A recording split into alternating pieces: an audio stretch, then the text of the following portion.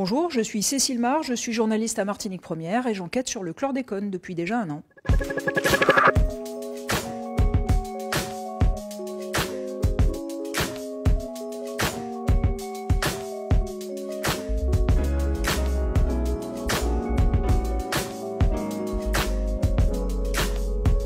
Cécile, ça fait plusieurs mois que vous enquêtez euh, sur le chlordécone.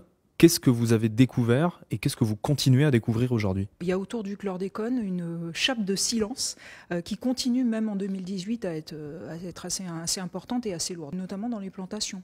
on se rend compte qu'il est assez difficile de faire parler des gens qui ont manipulé le chlordécone, qui ont été victimes du chlordécone et qui ont aujourd'hui développé un cancer de la prostate.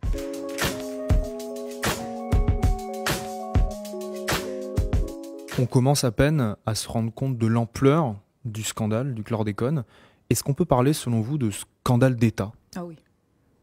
On a tout dedans. On a le laisser-faire des autorités. En 1969, la commission des toxiques, qui était euh, censée l'autoriser ou l'interdire, avait dit non.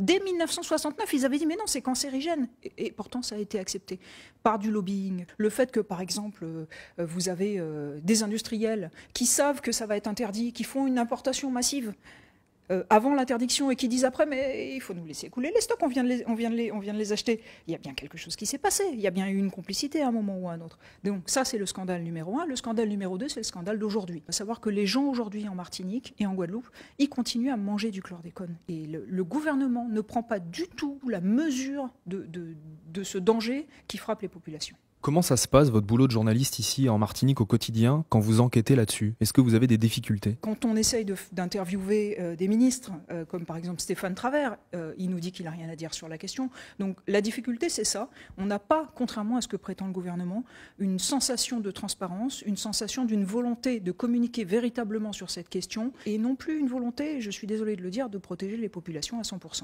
Est-ce que vous avez eu, pendant votre enquête, des pressions sur vous ou sur des témoins à qui vous avez parlé? Les témoins euh, ont reçu des pressions, reçoivent des pressions. On a eu par exemple un ancien inspecteur euh, de la répression euh, des fraudes qui nous a contacté spontanément pour témoigner sur le fait qu'il avait trouvé du chlordécone jusque dans les années 2005-2010. Et quand d'autres collègues ont essayé de le contacter, il leur a répondu qu'on lui avait fait des pressions, oui, qu'on l'avait embêté, qu'on lui avait demandé de ne pas remuer le passé, c'est du passé. Ça arrive.